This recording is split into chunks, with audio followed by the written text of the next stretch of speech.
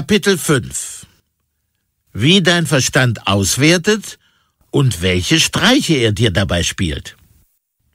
Das passiert immer und ununterbrochen.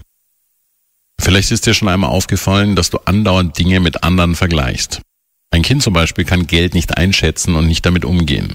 Es hat noch nicht die Vergleiche dazu, was wie viel wert ist. Es weiß einfach nicht, was man für 100 Euro bekommt. Ein Kaugummi oder ein paar Turnschuhe. Beim genauen Hinsehen stellt man also fest, dass der eigene Verstand permanent damit beschäftigt ist, Informationen mit anderen zu vergleichen.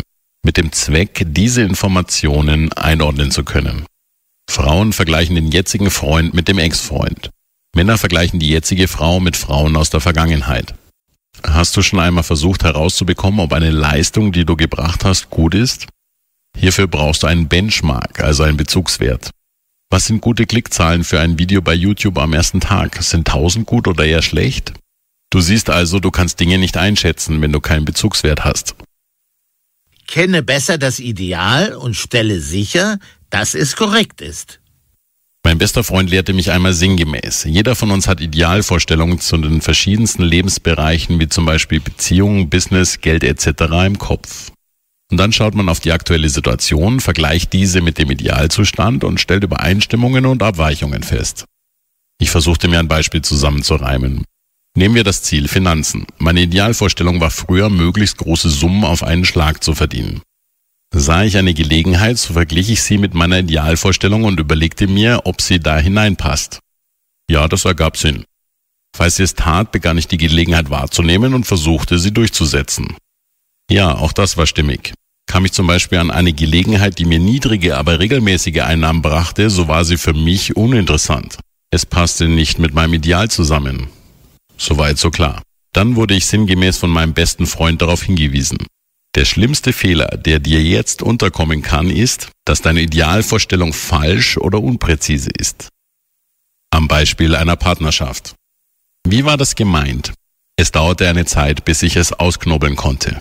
Ein paar Monate später stellte ich fest, dass Lifestyle-Magazine für Frauen gerne ein falsches Idealbild von Partnerschaften zeichneten.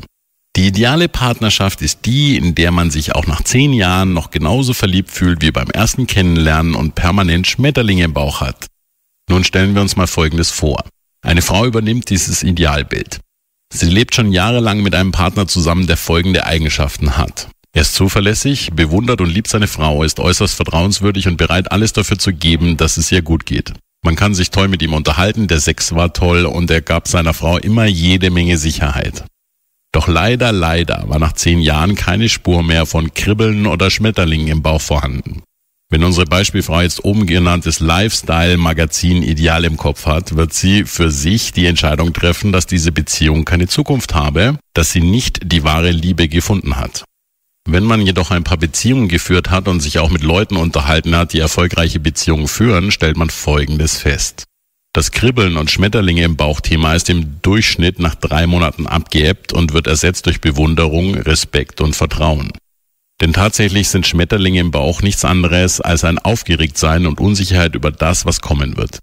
Und logischerweise, je besser man sich kennt, desto weniger Unsicherheiten gibt es und desto weniger Schmetterlinge. Falsche Ideale führen zu fatalen Fehlentscheidungen. Ich begann mir das Thema genau anzusehen und merkte sogar Folgendes. Es war noch nicht einmal wichtig, dass die Idealvorstellung völlig falsch war. Sie konnte auch unvollständig, unpräzise oder nicht ganz richtig sein. Auch dann hatte das sehr üble Auswirkungen. Denn, wie wir ja oben gelernt haben, vergleichen wir permanent alle Gelegenheiten und Situationen mit dem Ideal und handeln dementsprechend. So versuchen Singles gerne, und wahrscheinlich glauben sie es auch, Menschen, die in Beziehungen leben, zu verkaufen, wie toll doch die Freiheit als Single wäre. Und schwupps, schon übernimmt man ein falsches Ideal. Alex falsches Finanzenideal. Ich hatte zum Beispiel ein falsches Ideal in Bezug auf Finanzen. Wie ich zuvor schon erklärt habe, war ich immer darauf fixiert, möglichst große Summen zu verdienen. Kleinere laufende Einnahmen interessiert mich dagegen nicht. Mein finanzieller Durchbruch kam eigentlich erst, als ich verstand, dass die finanzielle Idealvorstellung folgende ist. Laufende Einnahmen zu haben, unabhängig von der eigenen Arbeit, die die Fixkosten übersteigen. Warum war das ein korrektes Ideal? Wie ich erst mit der Zeit herausfand, hat große Summen zu verdienen einen Nachteil. Der Staat schlägt mit der Steuer erbarmungslos zu. Er erwartet von dir, dass du die gleichen Summen im nächsten Jahr wieder verdienst, in Form von Steuervorauszahlungen. Das setzt einen extrem unter Stress und macht das Leben alles andere als schön. Hat man dagegen laufende Einnahmen, die die Ausgaben übersteigen, ohne dass man dafür arbeiten muss, so freut man sich auf jeden Monatsersten. Denn der Kontostand steigt ja permanent. Man hat Zeit für die wichtigen Dinge.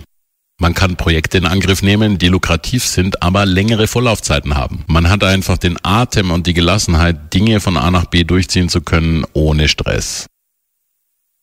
Weitere Fallen im Denkmechanismus der belastete Taschenrechner. Ein Freund machte einmal einen Spaß mit mir. Er gab mir einen Taschenrechner, auf dem die Zahl 3 zu sehen war und bat mich, die Zahl 7 dazu zu addieren. Ich tat es und sah auf einmal auf dem Display die Zahl 13, als ich Is gleich gedrückt hatte. Wie konnte das sein? War der Taschenrechner kaputt? Bei der heutigen Elektronik äußerst unwahrscheinlich. Ich war wirklich verblüfft. Dann lüftete mein Freund sein Geheimnis. Ich habe vorher die Zahl 3 eingetippt, dann Plus gedrückt und nochmal 3 eingegeben. Tatsächlich war also eine 3 mehr vorhanden als für dich sichtbar. Klar, der Taschenrechner hatte nicht falsch, sondern mit Informationen gerechnet, die mir nicht bekannt waren. Mein Freund sagte darauf, siehst du, das ist der Grund, warum Menschen falsche Entscheidungen treffen. Und wandte sich wieder seiner Arbeit zu. Ich konnte mir damals noch nicht genau ausmalen, wie er das wirklich meinte. Allerdings beschäftigte mich dieser Gedankenansatz. Ich kam jedoch nicht richtig weiter damit, bis mir zufälligerweise Folgendes zustieß was Alex, ein unerfahrener Praktikant, über sein Denken lehrte. Ein Praktikant, der direkt aus der Schule kam und vorher nie gearbeitet hatte, wollte eine Berechnung in Excel durchführen. Er hatte vorher noch nie wirklich mit Excel gearbeitet und sich nur ein paar Tutorials auf YouTube dazu angesehen. Als er mit seinen Berechnungen fertig war, wollte er, da er einen fremden Computer benutzte, nämlich meinen, die Tabelle wieder entleeren. Er fand nicht gleich die Lösung und hatte deswegen eine Idee. Er markierte seine kompletten Berechnungen und änderte die Schriftfarbe auf weiß. Schwupps war die Tabelle scheinbar leer. Jetzt war natürlich auch der Cursor verschwunden und darum änderte der Praktikant anschließend die Farbe wieder in schwarz. Ich setzte mich ein paar Minuten später, ohne natürlich die Vorgeschichte zu kennen, an die Excel-Tabelle und begann eigene Berechnungen anzustellen. Ich sah auf den ersten Blick, dass Excel nur Quatsch auswarf. Es war mir wirklich ein Rätsel. Wie konnte das sein? Excel kann sich nicht verrechnen.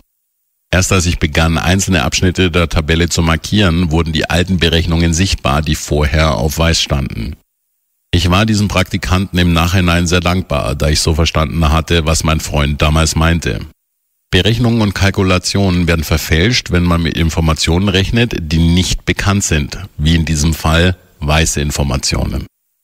Das erklärte auf einmal, warum Kunden völlig sinnlos Angst vor Immobiliendarlehen hatten. Die Eltern hatten ihnen vor 20 Jahren in die Excel-Tabelle geschrieben, mach keine Schulden.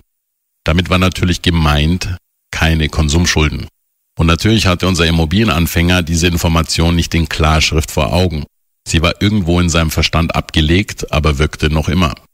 Die Information war weiß und sie führte für den Außenstehenden zu scheinbar völlig irrationalen Ergebnissen. Doch hatte unser Immobilienanfänger wirklich falsch gerechnet und eine schwachsinnige Entscheidung getroffen? Nein, er hatte lediglich bekannte mit unbewussten Informationen, also den weißen Informationen, vermischt und kam für seine Umwelt damit zu irrationalen Ergebnissen.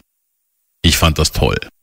Endlich konnte ich bei meiner Umgebung sehen, wie all die Dinge, die ich nicht nachvollziehen konnte, zustande kamen. Mist! Das könnte ja bedeuten. Eines Nachts jedoch verdarb mir ein Gedanke ganz übel die Laune. Keiner dieser Leute hatte auch nur den geringsten Verdacht, selbst weiße Informationen zu verarbeiten. Keiner, kein einziger. Und da war sie, die unangenehme Frage. Was, wenn auch ich jede Menge weiße Informationen in meinen Entscheidungsprozessen habe und genauso überzeugt bin, wie zum Beispiel die Immobilienneulinge, dass an diesen Entscheidungen alles super ist? Dieser Gedanke ließ mich lange Zeit nicht los und ich begann mich fortan sehr kritisch möglichst von außen zu beobachten. Resümee. Achte darauf, dass du zu den einzelnen Bereichen deines Lebens, Business, Beziehung, Privatleben etc. möglichst die korrekten Idealvorstellungen hast. Berücksichtige immer, dass falsche Idealvorstellungen immer zu falschen Entscheidungen führen. Versuche außerdem, wann immer möglich, weiße Informationen aufzudecken und zu korrigieren. PS, ich habe mich sehr mit dem Thema Idealvorstellung zu den einzelnen Lebensbereichen beschäftigt und diese Stück für Stück ausgewertet und recherchiert. Sehr viel Know-how dazu findest du in den Videos auf meiner Website. Teste dann verstehen. Warum ist es wichtig, zu jedem Bereich eine korrekte Idealvorstellung zu haben? Was passiert, wenn deine Idealvorstellung falsch, teilweise falsch oder unpräzise ist?